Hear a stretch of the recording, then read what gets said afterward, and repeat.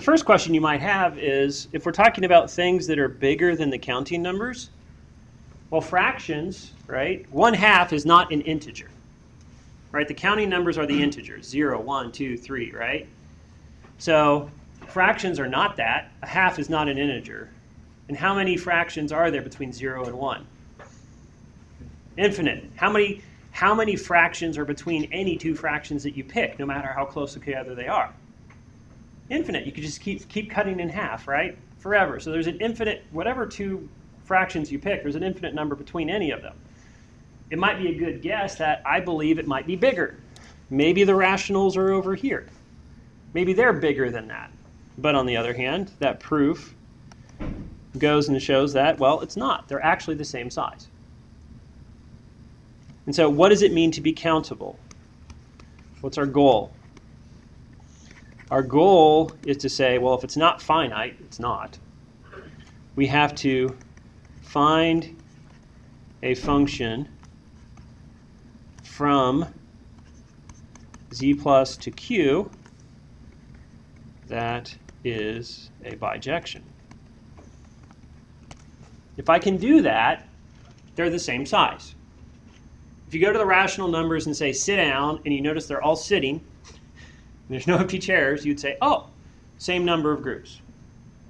If I can put the rational numbers in the Hilbert's Grand Hotel, they have to be the same size. So the hard part is, can we find such, such a function? So here's, here's what we're going to do. I'm going to look at the following the set of all a over b, a, b are ints, and b is not 0. All right, this is not the rationals. This is bigger than the rationals, right? Because I'm actually allowing things that have a common factor. And I'm going to write it like this.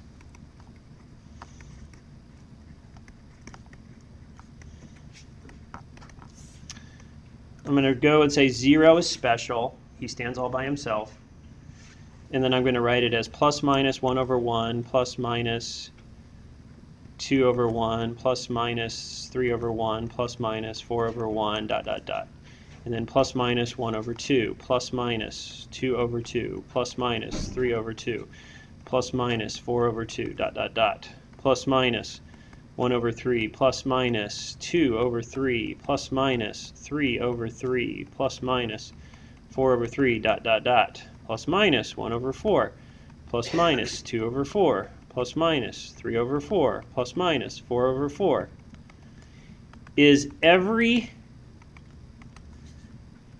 is every possible int over int here? Yes right? So any possible int over int is here, including those who have common factors. Now I'm going to go to this and say, okay, and from there, we can say, okay, this table contains Q. Is Q here? Yes. It actually has more stuff than Q, but it at least contains Q. Now I'm going to consider the diagonals such that a plus b is equal to n and the first diagonal is just holding 0. So I'm going to say this. Diagonal, diagonal, diagonal, diagonal, diagonal. This is n equal to 1. This is n equal to 2. This is n equal to 3. This is n equal to 4. This is n equal to 5. Now, consider those diagonals. n equals 0 has what number on it? Just 0. Sorry, n equal 1. What's n equal 2? How many numbers does it have? Just 1. What's the only way that you can add to 2? 1 plus 1. Okay? Uh, n equal 3, how many numbers does it have? 1 half and 2 over 1, right? Those are the only ways that you can add the 3. 1 plus 2 and 2 plus 1. n equal to 4. what does it have? 1, 3, 2, 2, 3, 1. Those are the only ways that you can add up to 4. Everybody okay with that? Now, will every number be on a diagonal? Can you think of any number over number that won't be on a diagonal?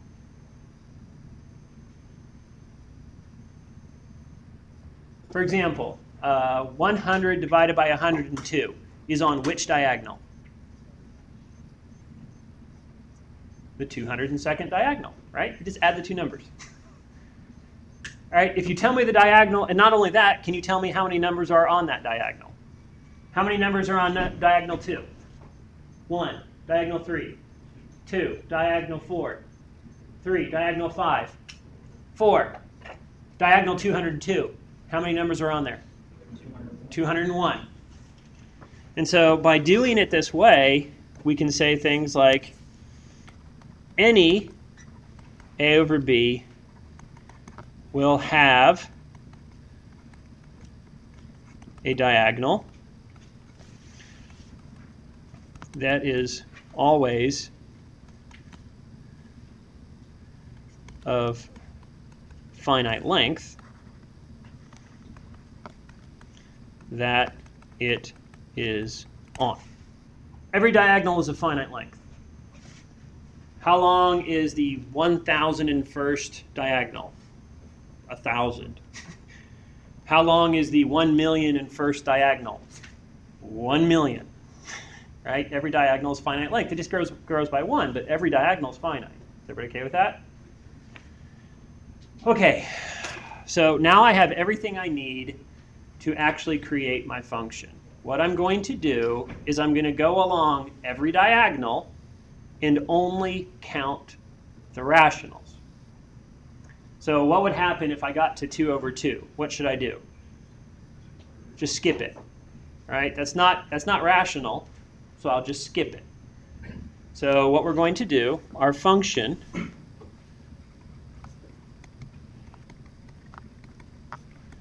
is to go along diagonals.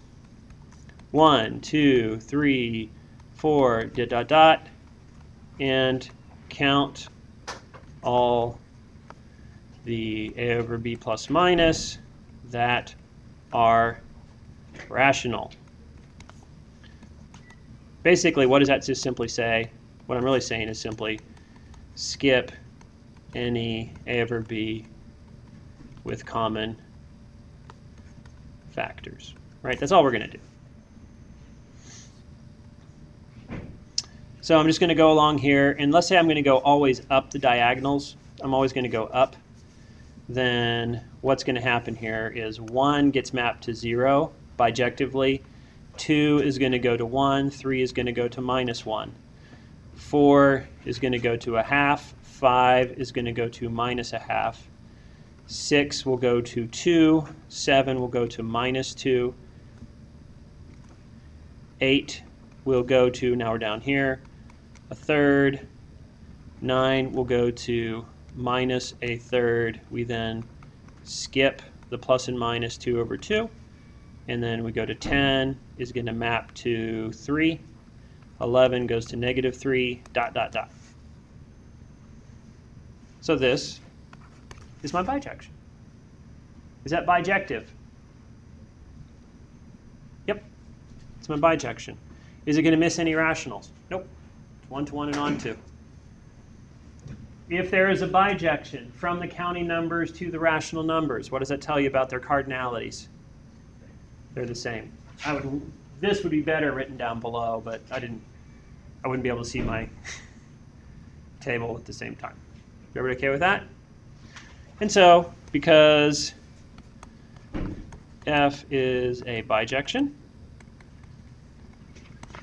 we can say that the cardinality of the rationals is simply Aleph null. It is countable, which is almost, it almost makes you, it's like, wait a second, between, there's an infinite number of rationals? Yes. But guess what? You can order them. You can take all of the rationals from negative infinity to infinity and order them. number one, number two, number three, number four, and put them in that order, and that will include all of them. Which would tell us that the numbers between 0 and 1 would have to be, you know, the certain grouping, like every other, you know, type of things. Like when do you pick it? You know, how, where are all the, for example, you could have, what, was, what would be all of the rational numbers that are between 0 and 1?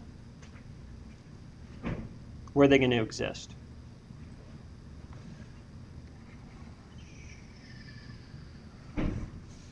Right there, right? The entire lower half of the table, skipping, is where all the numbers between 0 and 1 are.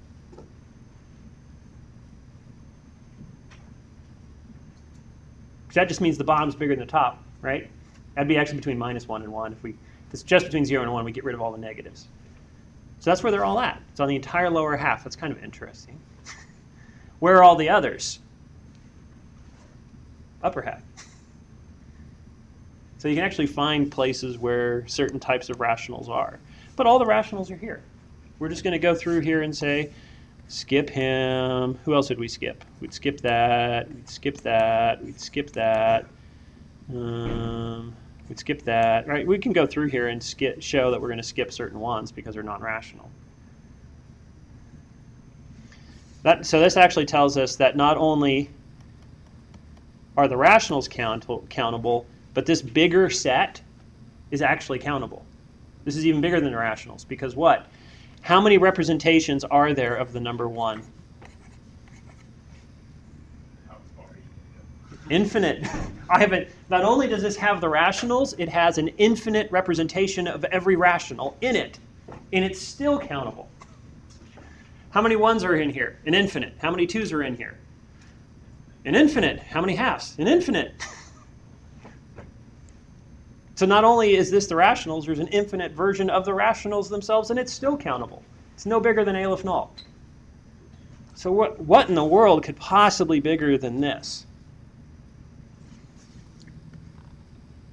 So we even we haven't even found. So Cantor proved that you know if there is an Aleph Null, there's going to be an Aleph one. There's something bigger that's distinct, right? And they're actually what's what's kind of interesting is these transfinites are countable. Every one of which is, you know, it's like the next, next, next is countable so, but they're all not finite. They're bigger than, than this idea of finite. Okay,